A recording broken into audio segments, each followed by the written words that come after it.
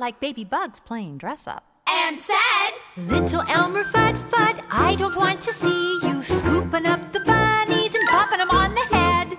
I'll give you three chances, and if you don't behave, I'm going to turn you into a tune. The next day,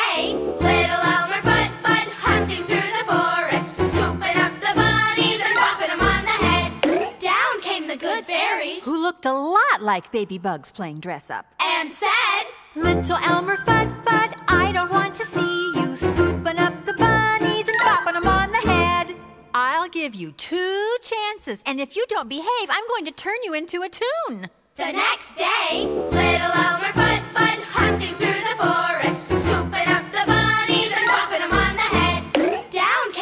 fairy Who looked a lot like baby bugs playing dress up. and said, Little Elmer Fudd Fudd, I don't want to see you scooping up the bunnies and popping them on the head.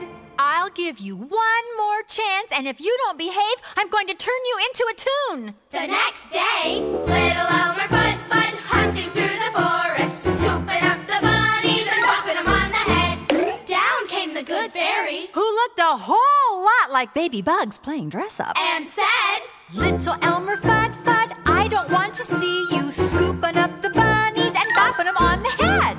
I gave you three chances, and you didn't behave. Now I'm going to turn you into a tune. Poof! But nothing happened. Little Elmer Fudd Fudd looked exactly the same. The moral of the story is Once a Looney Tune, always a Looney Tune.